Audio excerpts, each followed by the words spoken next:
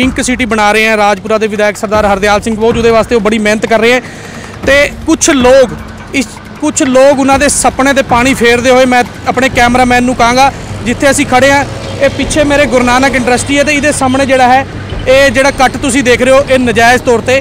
ਬੀਤੇ ਦਿਨਾਂ ਖੋਲ ਦਿੱਤਾ ਗਿਆ। ਮੈਂ ਤੁਹਾਨੂੰ ਦੱਸਦਾ, ਇਸ ਕੱਟ ਦੇ ਨਾਲ ਜਿਹੜੇ ਹੈ, ਉਰੇ ਹਾਦਸੇ ਹੋਣ ਦਾ ਵੀ ਪੂਰਾ ਡਰ ਹੈ। ਉਰੇ ਕਿਉਂਕਿ ਦੋ ਕੱਟ ਜਿਹੜੇ ਹਨ, ਨਾਲ ਹੋ ਗਏ ਆ, ਬਿਲਕੁਲ। ਦੇਖਣਾ ਇਹ ਹੋਏਗਾ, ਆਉਣ ਵਾਲੇ ਸਮੇਂ 'ਚ ਪ੍ਰਸ਼ਾਸਨ ਇਸ ਔਰ ਕਿਆ ਧਿਆਨ ਦਿੰਦਾ ਹੈ ਤੇ ਵਿਧਾਇਕ ਸਰਦਾਰ ਹਰਦਿਆਲ ਸਿੰਘ ਕੰਬੋਜ ਇਸ ਤੇ ਕੀ ਐਕਸ਼ਨ ਲੈਣੇ ਆ? ਕਿਉਂਕਿ ਇੱਕ ਬਹੁਤ ਵੱਡਾ ਸਵਾਲ ਹੈ ਕਿ ਜਿਹੜਾ ਉਹਨਾਂ ਦਾ ਸੁਪਨਾ ਸੀਗਾ, ਅੱਜ ਤੋਂ 10 ਸਾਲ ਪੁਰਾਣਾ ਵੀ ਇਸ ਜਿਹੜੀ ਰੋਡ ਨੂੰ, ਮੈਂ ਪਟਿਆਲਾ ਰੋਡ ਨੂੰ ਬਹੁਤ ਸੁੰਦਰ ਬਣਾਵਾਂ ਤੇ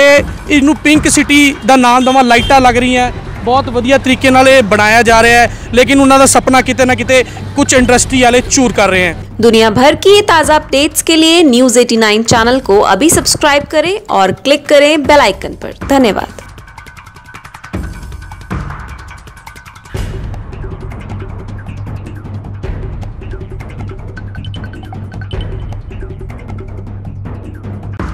जहाँ हल्का विधायक राजपुरा शहर को सुंदर बनाने के लिए दिन रात एक कर करोड़ों रुपया शहर पर लगा रहे हैं। वहीं कुछ लोग अपने निजी फ़ायदे के लिए इस सपने पर पानी फेरने का काम भी कर रहे हैं। जैसा कि पूरे शहर को पता है कि राजपुरा गगन चौक से लेकर लबर्टी चौक तक हेरिटेज पिंक रोड बनाने के लिए नगर कौंसिल पीडब्ल्यूडी विभाग व शहर के सहयोग से करोड़ों रुपया लगाकर इस रोड की नुहार को बदला जा रहा है। मगर बीते दिन कुछ इंडस्ट्री की ओर से अपने निजी फ़ायदे के लिए अपनी इंडस्ट्री के सामने पटियाला रोड के बीचों बीच डिवाइडर को प्राइवेट मजदूरों की मदद से तोड़कर नाजायज रास्ता बना लोगों की जान से खेलने का काम किया गया। आपको बता दें कि इस नजायज बनाए गए कट से कुछ ही कदम पर नीलपुर को जाने वाली सड़क पर पिछले कई वर्षों से पीडब्ल्यूडी विभाग द्वारा जायज़ कट बनाया हुआ है, जिसे हज़ारों लोग आने जाने के लिए इस्तेमाल भी करते हैं। मगर इस नजायज कट से यहाँ रोज़ाना बड़े हादसे होने का खतरा बना हुआ है। आइए आपको दिखाते हैं न्यूज़ 89 की एक खास रिपोर्ट और क्या कहते हैं हल्का विधायक सरदार हरदयाल सिंह कंबोज।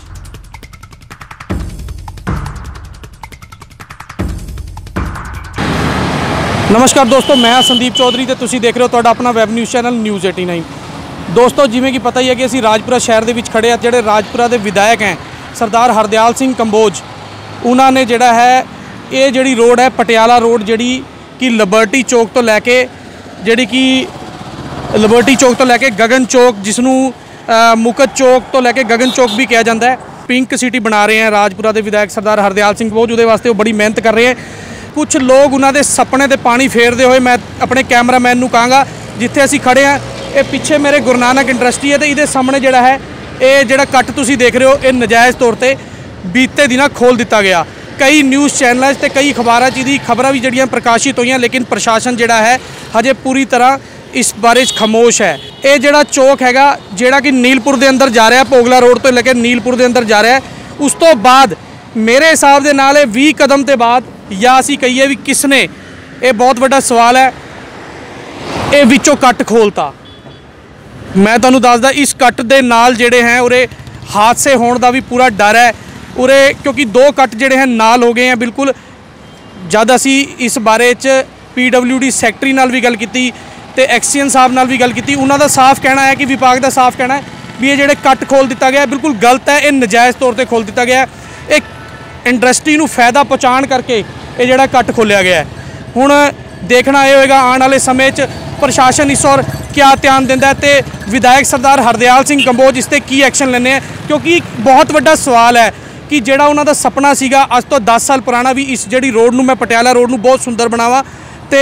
ਇਹਨੂੰ ਪਿੰਕ ਸਿਟੀ ਦਾ ਨਾਮ ਦਵਾਂ, ਲਾਈਟਾਂ ਲੱਗ ਰਹੀਆਂ। ਬਹੁਤ ਵਧੀਆ ਤਰੀਕੇ ਨਾਲ ਇਹ ਬਣਾਇਆ ਜਾ ਰਿਹਾ ਹੈ ਲੇਕਿਨ ਉਹਨਾਂ ਦਾ ਸੁਪਨਾ ਕਿਤੇ ਨਾ ਕਿਤੇ ਕੁਝ ਇੰਡਸਟਰੀ ਵਾਲੇ ਚੂਰ ਕਰ ਰਹੇ ਹਨ ਹੁਣ ਆਉਣ ਵਾਲਾ ਸਮਾਂ ਦੱਸੇਗਾ ਵੀ ਇਸ ਤੇ ਪ੍ਰਸ਼ਾਸਨ ਕੀ ਕਾਰਵਾਈ ਕਰਦਾ ਹੈ। ਰਾਜਪੁਰਾ ਤੋਂ ਕੈਮਰਾਮੈਨ ਲਲਿਤ ਕੁਮਾਰ ਦੇ ਨਾਲ media person Sandeep Chaudhary news 89 ਤੁਸੀਂ ਰਾਜਪੁਰੇ ਨੂੰ ਬਿਊਟੀਫਿਕੇਸ਼ਨ ਕਰਨ ਦੇ ਲਈ ਇੰਨਾ ਜ਼ੋਰ ਲਗਾ ਰਹੇ ਹੋ ਜੀ ਪਿੰਕ ਸਿਟੀ ਬਣਾਉਣ ਤੇ ਲੱਗੇ ਹੋਏ ਹੋ ਜੀ। ਉੱਥੇ ਲੋਕੀ ਆਪਣੇ ਕੁਝ ਨਿੱਜੀ ਫਾਇਦਿਆਂ ਵਾਸਤੇ ਜੀ ਸੜਕ ਨੂੰ ਤੋੜ ਰਹੇ ਨੇ ਡਿਵਾਈਡਰਾਂ ਨੂੰ ਤੋੜਨੇ ਨੇ ਇਸ ਬਾਰੇ ਕੀ ਕਹਿਣਾ ਹੈ ਤੁਹਾਡਾ? ਦੇਖੋ ਮੇਰੇ ਧਿਆਨ 'ਚ ਨਹੀਂ ਹੈ ਗੱਲ ਕਈ ਵਾਰੀ ਅ, ਕੁਛ ਤਾਂ ਮੈਨੂੰ ਸ਼ਾਪਕੀਪਰਸ ਜਿਹੜੇ ਮਿਲੇ ਸੀਗੇ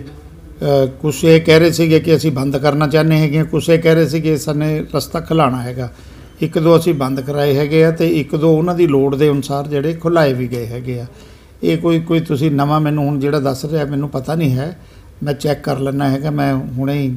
ਆਪਣਾ ਮਿਊਨਿਸਪਲ ਕੌਂਸਲ ਦੇ ਪ੍ਰਧਾਨ ਸਾਹਿਬ ਨਾਲ ਤੇ ਈਓ ਸਾਹਿਬ ਨਾਲ ਮੈਂ ਗੱਲ ਕਰ ਲੈਣਾ ਜੇ ਕੋਈ ਜ਼ਿਆਦਾ ਉਹਦੇ ਵਿੱਚ ਹੋਏਗਾ ਕਿ ਡਿਸਟਰਬੈਂਸ ਸਾਰੀ ਹੈਗੀ ਹੈ ਤਾਂ ਬਿਲਕੁਲ ਉਹਨਾਂ ਨੂੰ ਰੋਕਿਆ ਜਾਏਗਾ। जैसे कि आपने हमारी इस खास रिपोर्ट में देखा कि कैसे नजायज कट बनाकर कुछ लोग आम लोगों की जान से खिलवाड़ कर रहे हैं। अब देखना ये होगा कि आने वाले दिनों में विधायक सरदार हरदयाल सिंह कम्बोज व राजपुरा प्रशासन इस कट पर क्या कार्रवाई करता है। राजपुरा से ब्यूरो रिपोर्ट, न्यूज़ 89